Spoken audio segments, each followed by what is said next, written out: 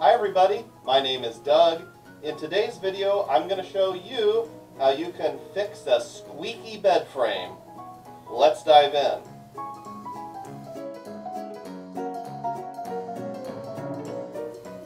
So my wife and I have had this bed frame for a little while, and we really like it, but about once a year it starts to get squeaky after it's been used for 12, 12 or so months.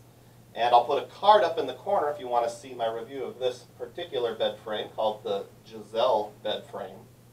So I need to do something to reduce the squeakiness, just the nuts and bolts squeaking, the joints squeaking, those kind of things. So let's check on what we can do about that. So this is kind of a quick and dirty video, so I'm not doing a lot of editing, and the lighting might be a little funny, hence the insane close-up here. Uh, something you're going to have to do is remove literally every single bolt and every single screw. So this bed frame uses Allen wrenches or hex wrenches. I've just got a little hex wrench tool here I can use to take those out. So go ahead and remove every single nut or bolt, not all at once, one at a time, and once you get the first one out, I'll tell you what to do. Couple of things you're going to need in addition to the hex wrench tool I showed you is a bucket, like an ice cream bucket, something like that, and then some sort of lubricant. Now the one that I prefer is Blaster multi-purpose lubricant, and the important thing is you want something that has Teflon in it, uh, because you're going to spray this on the nuts and bolts to prevent the squeaking and some of the joints as well.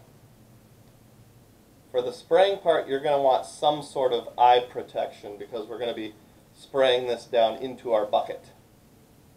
Please note that I am not a professional chemist and I do not work for any of these companies, so use the product at your own risk and use uh, common sense reading all the warning labels. So you'll want to take your product and shake it so that it's nice and shook up. There's a little red straw that you insert like so.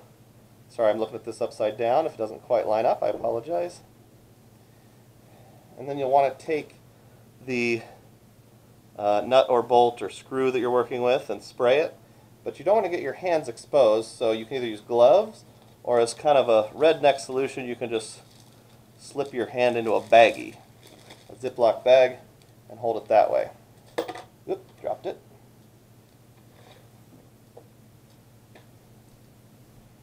And just spray the lubricant directly onto the nut or bolt.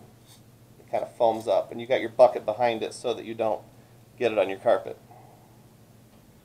Then you screw the nut or bolt back in that you just took out, and you're going to repeat that for literally every single nut, bolt, or screw on the entire bed frame, doing it one at a time.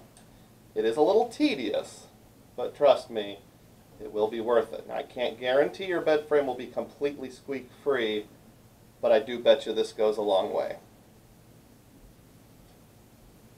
Check the description box if you want to see links to the products that I am using to make this happen. Take a paper towel and just pat it down so that it's not leaking. And then at the very end, you'll want to go and make sure everything is really nice and tight. Tighten all those screws firmly.